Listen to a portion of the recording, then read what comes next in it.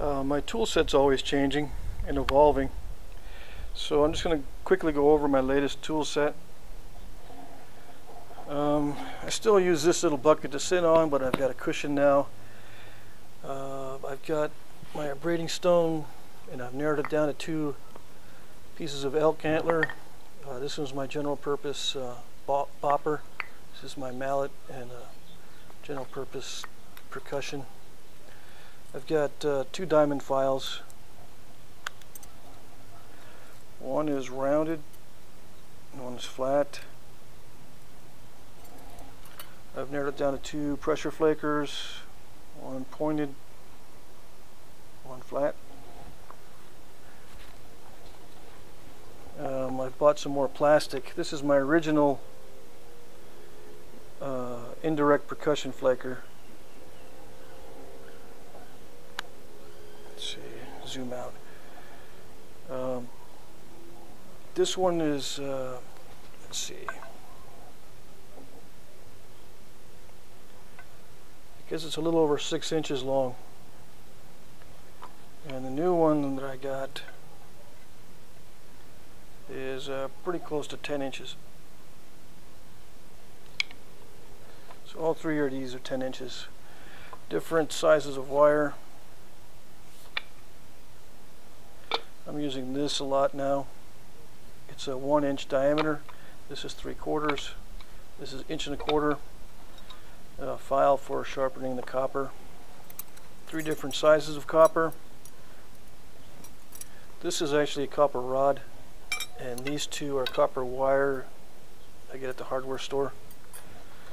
Uh, snips for snipping the wire to size and also for removing the the wire when it gets worn out. I just pull it out here. There's no set screws or anything. I just push it into the hole there. Uh, I am going to use gloves more often now. Uh, I've gotten rid of all my soft hammer stones and I'm only using hard hammer stones now. I still have my pressure flaking pad. Uh, my latest uh, arrowheads. Familiar with these. This is a knife I made a couple days ago. It's sort of like a Montel knife, but I'm gonna I'm gonna haft it and use it for some of the future videos as a tool. Uh, these are all heat treated stone except for this one here. I've heated a bunch of stone lately. This is the same type of stone, but this is raw and this is heated. This here is uh, raw.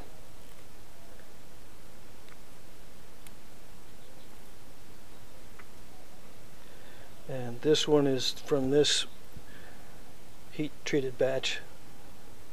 There's quite a bit of difference, both in the workability and in color. I tried to get these as thin as I could. And you can see that uh, it's easier to get the heat treated one thinner. And it's actually longer too.